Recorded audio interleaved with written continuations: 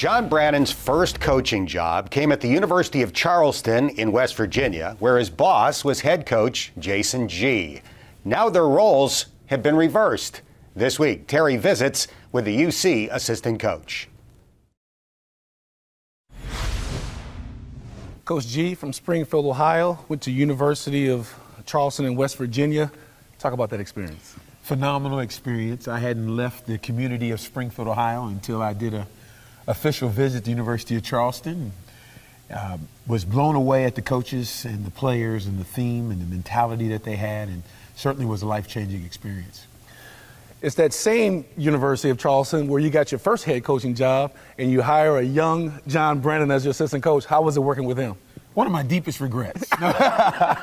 no, um, I had I had a kid that was returning first team all conference player that uh, I knew there were some things that I couldn't give him. So hiring John Brannen uh, gave him that a guy that could drive somebody and drill them and teach them and skill development.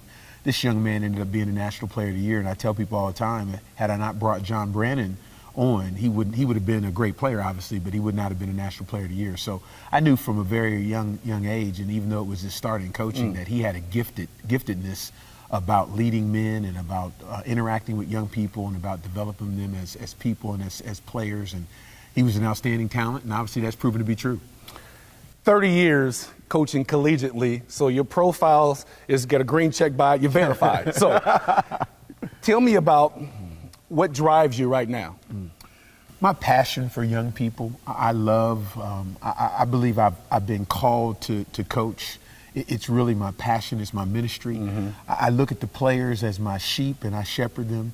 Uh, and so their lives, their opportunities, their development really, really motivates me to keep doing what I'm doing. You're an author. I'm an author. You wrote a book, Battle for mm-hmm. Brandon. Tell us about that. Well, at, at 11 years old, the doctors tried to tell me my son was going to be in day treatment facilities and hospitals for the rest of his life. And I just told them they were liars that I was going to pray and ask God for healing. And three years later, uh, he walked out of the hospital, and now he's 26 years old and and doing great. And and uh, a, a, former booster of mine called me and said God had told him to make a motion picture out of it. And I'm like, out of what? And he said, out of your story about Brandon. And so.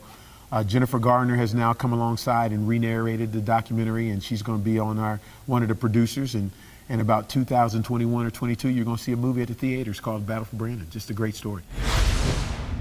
We spoke to Coach Gee about that just last night, and the movie is in the works. The trailer is awesome. I mean, you talk about the amount of people that are, are, being interviewed in that. And there's people right now going through casting calls to see if they can play the roles for that. It's going to be a story that's going to touch a lot of people because these are the silent stories that never get heard. Denzel Washington in the role of Terry Nelson. Come on now.